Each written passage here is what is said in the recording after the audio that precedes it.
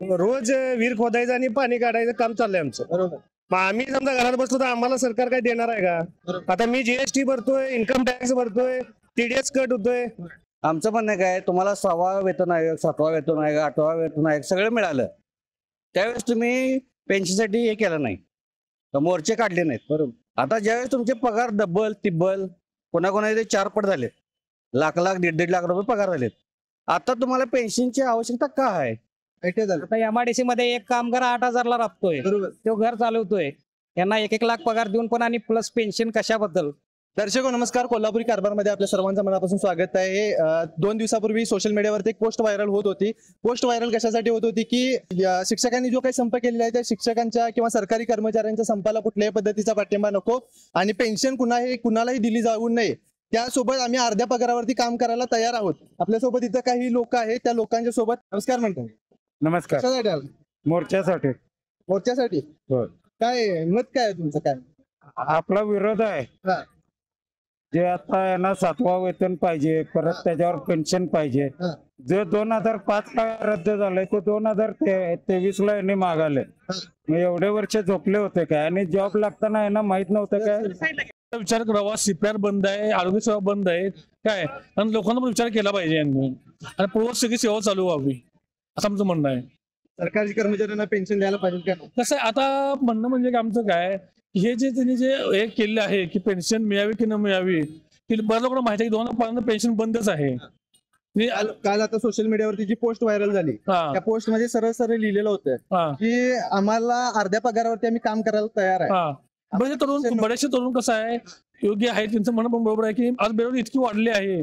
काय? की ते बरेच तरुण लोक तयार आहेत की अर्ध्या बाजूचं काम करायला तयार राहा कारण कसं आहे आज खाजगी ह्याच्यामध्ये दहा पंधरा हजारच्या वरती पगार. बघायला गेलं जवळपास बघायला गेलं सरकारी कर्मचारी जे आहेत हा. ते त्यांच्या पात्रतेनुसार ते तिथं बसलेले आहेत. आहे की पात्र सर्वांचीच आहे. कसं आहे, आज आम्ही पण ग्रॅज्युएट हा. आहे बसचे बेरोजगार इतके आहेत की आज जर दहा जागा निघाल्या तर एमबी वाली मुलं पण तयार आहेत की शिपाईचं काम करायला. बरोबर आहे का नाही? की काय आठवी नववी पास नाही. एमबीची मुलं पण आज काम करायला तयार आहेत तर त्या म्हणजे असं माझं तर काय म्हणणं आहे की माझं म्हणण्यापेक्षा काय आहे की जे सरकारी कर्मचारी आहेत ते आता काय म्हणत आहेत तुम्ही परीक्षा द्या पास व्हा मग पण आज भरती भरती कुठं आहे यार? हा. भरती पूर्ण स्टॉपच आहे ना. भरती निघाली पाहिजे. दुसरी गोष्ट म्हणजे शेतकरी आम्ही शेतकऱ्यांची मुलं आहे हा. आम्हाला पेन्शन पाहिजे. शेतकऱ्यांच्या मुलांना पेन्शन दिलेलं काय? आज शेतकऱ्यांना हमीभाव मिळत नाही. हा. ही सगळ्यात मोठी खंत आहे की आपला भारत देश हा की शेतकऱ्यांना देश मानला जातो. पण आज शेतकऱ्याला तुम्ही बघा पाच रुपये कांदा किलो. आज बऱ्याचशा शेतकऱ्यांनी आपल्या शेतामध्ये नांगर फिरवलं. त्यांनी काय करायचं? पूर्ण कुटुंब राबते पण त्यांना योग्य मोबदला मिळत नाही. हा पण केला पाहिजे. साहेब, नमस्कार. बोला गाव? इचलकरंजी. इचलकरंजीवर नाव इचलकरंजी शिवडून होय. काय आता हे संप केला आहे त्यानंतर संपाला आता पहिल्यांदा महाराष्ट्रात अशा पद्धतीने विरोध होतोय. आतापर्यंत कुठल्याही संपाला कुठल्याही मोर्चाला विरोध करणारा मोर्चा आतापर्यंत कधी महाराष्ट्रात झाला नाही. नाही मोर्चा पहिल्यांदाच आहे. नाही या मोर्चाला विरोध झाला पाहिजे. कसा जनतेचा पैसा आहे तो. आणि जनतेचा पैसा कसा आहे, यांना या चांगल्या कार्यासाठी जनतेचा पैसा युज व्हायला पाहिजे. यांना पगार आहे एक एक लाख दीड दीड लाख. आणि प्लस त्यांना पेन्शन द्यायचं आहे. जनता आताची शिक्षण एमआयडीसी काय तुमचं? माझं शिक्षण आय टी झालंय. ऐटे झालं. आता एमआयडीसी मध्ये एक कामगार आठ हजारला राबतोय. बरोबर. तो घर चालवतोय. यांना एक एक लाख पगार देऊन पण आणि प्लस पेन्शन कशाबद्दल? काय द्यायची गरज आहे? हे हे कुणा कुणावर पडणार भार? हा जनतेवरच पडणार आहे. जनता स- स्वतःहून जनता सगळी एकत्र व्हायला पाहिजे. शिक्षक म्हणत आहेत किंवा सरकारी नोकरदार म्हणत आहेत आम्ही आमच्या पात्रतेवरती इथं आहे. पात्रतेचा संबंध नाही. तुम्हाला पेमेंट द्यायलाय ना?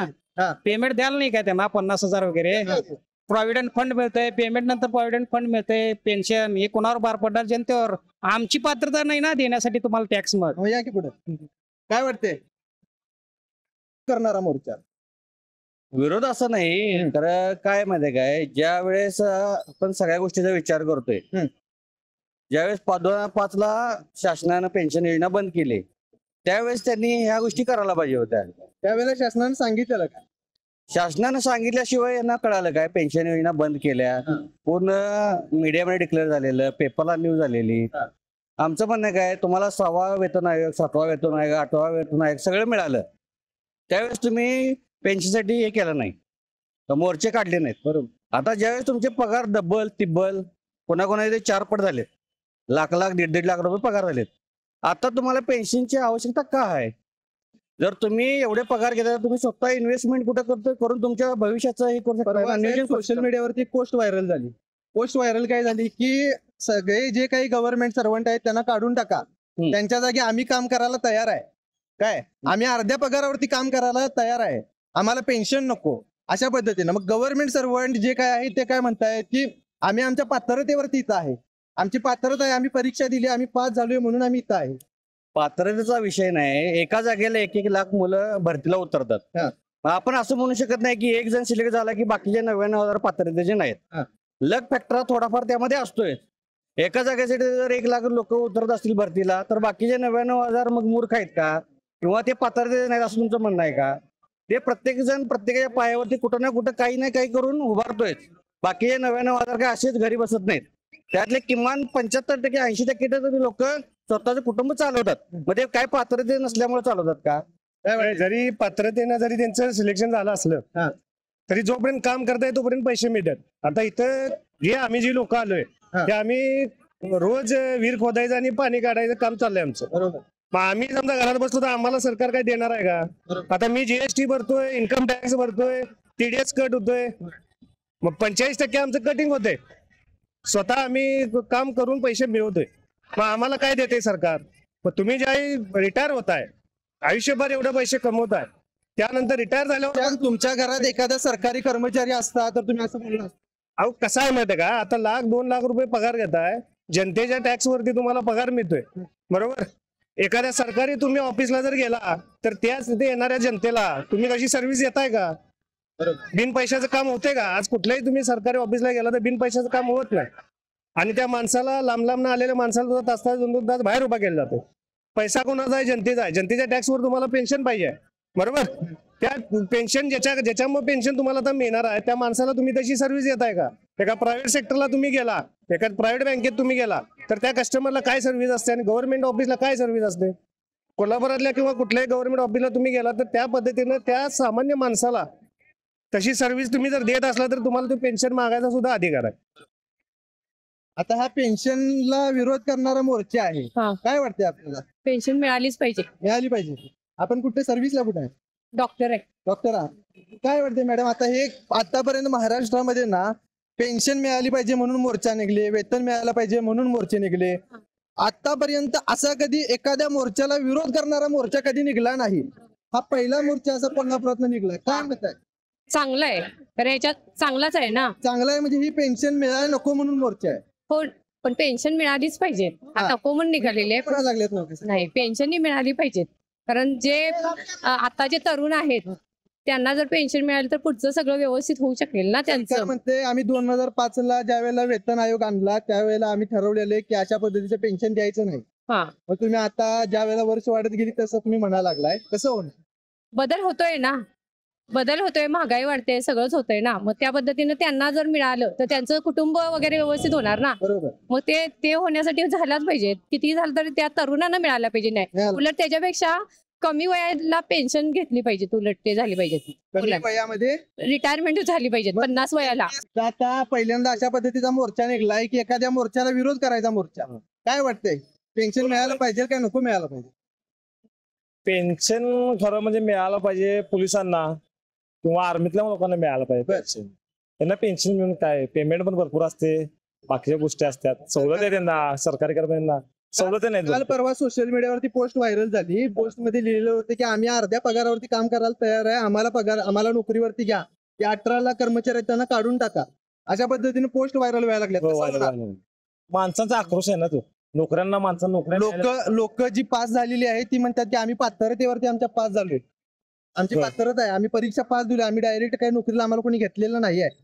ना सगळ्या गोष्टी पात्रतेनं होत नाहीतच. हा. माहितीच आहे की तुम्हाला? आता काय सांगायला लागते? थोडंफार द्यायला पण लागतेच की. त्याशिवाय लागतात यांना नोकऱ्या.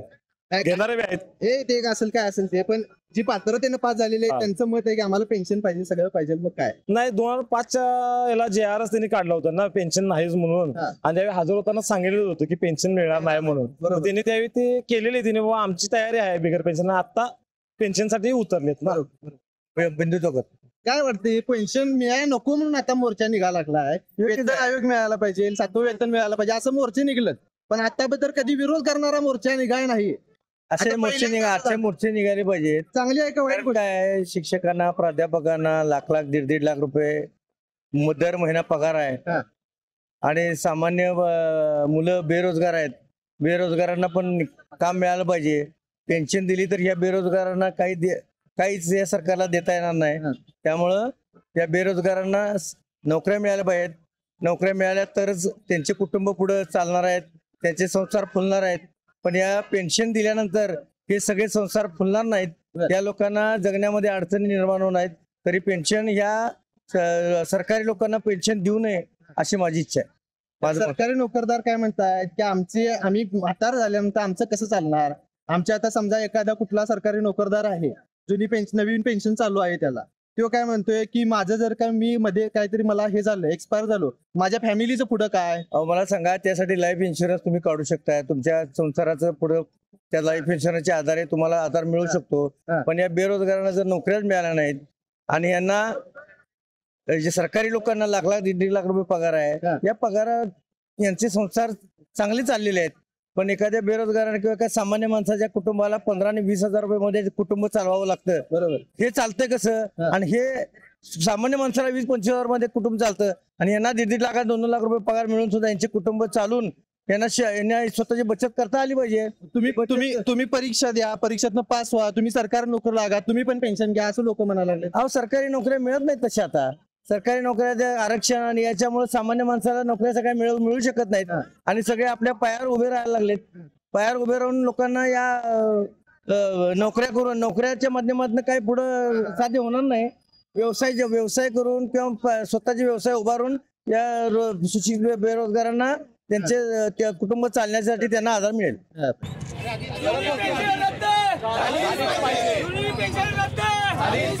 अरे कोण म्हणता करत नाही. अरे कोण करत नाही? अरे कोण येत नाही? जुनी पेन्शन योजना रद्द झालीच पाहिजे. जुनी पेन्शन योजना रद्द झालीच पाहिजे.